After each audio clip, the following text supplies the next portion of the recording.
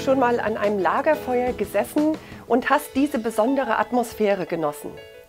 Dieser große Stapel von Holz, der da abgebrannt wird, die aufstiebenden Funken, dieses lebendige Feuer, das aussieht, als hätte es wirklich Leben in sich, diese ständig neuen Flammenbilder, das ist etwas, was uns wirklich immer wieder stark beeindruckt und was uns wirklich anzieht.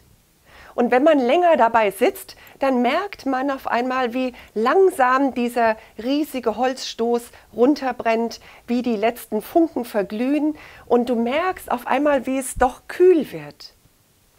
Das Feuer ist runtergebrannt. Und dann irgendwann ist nur noch Asche da. Graue, dunkelgraue, hellgraue Asche, ein bisschen verweht der Wind und es bleibt nichts mehr übrig. Die Stimmung ist dann auch irgendwie wie runtergebrannt. In vielen Gesprächen berichten mir Menschen, dass sie ihr Leben im Moment so erleben, wie ausgebrannt, wie ein Feuer, das runtergebrannt ist, wo keine Nahrung mehr da ist, wo einfach diese Holzstücke, die das Leben eigentlich gegeben haben, ausgebrannt sind. Und wo sie den Eindruck haben, in mir ist es kalt, runtergebrannt, ausgebrannt. Was wirst du tun? Was willst du tun mit diesem Empfinden oder mit dem, wenn du dein Leben so anschaust? Ich habe eine gute Nachricht für dich. In der Asche gibt es noch Glut. Es ist nicht alles so, wie es außen scheint. Es ist sogar so, wenn du zum Beispiel gegrillt hast und die Asche ist da von dem auch runtergebrannt und du würdest sie sofort in die Mülltonne entsorgen, hätte sie das Potenzial, alles neu zu entzünden, obwohl es aussah, als ob alles nur noch graue Asche ist. Und so ist es in deinem Leben auch. Ich möchte dir das ganz neu zusprechen. Ich weiß, der Herr hat mir ein Wort für dich heute gegeben. Es ist noch Glut da. Es ist nicht alles verbrannt.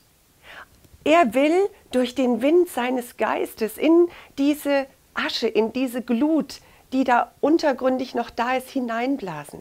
Er will dieses Feuer der ersten Liebe zu Gott neu in deinem Leben entfachen. Er möchte, dass er dich wissen lässt. Seine Zusage und seine Verheißung gilt dir jetzt, denn er hat gesagt, ich werde den glimmenden Docht nicht auslöschen. Ein glimmender Docht kann neu entfacht werden.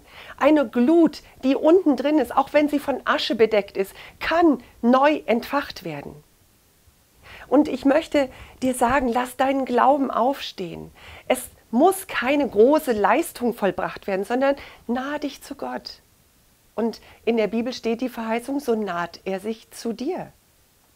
Und der Herr hat gesagt zu Jesaja, Jesaja hat es uns aufgeschrieben, er wird dir einen Kopfschmuck statt Asche geben, Freudenöl statt Trauer, ein Ruhmesgewand statt eines verzagten Geistes eine Pflanzung des Herrn, dass er sich durch sie verherrlicht. Aus dieser Asche in deinem Leben, die du so empfindest, wird der Herr etwas Neues schaffen.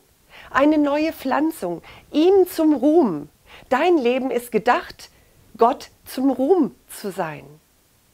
Und das Einzige, was du nötig hast, ist zu sagen, Heiliger Geist, ich lade dich ein, dass du ganz neu mit deinem Wind in die Asche hineinbläst.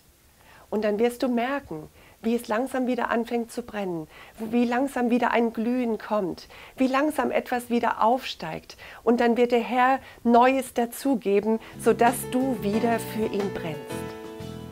Ich wünsche dir, dass du diese Bereitschaft, diese Offenheit, dieses Reinpressen in dieses neue Entzünden hinein zulässt und dass du erwartest, Gott hat mehr für mich.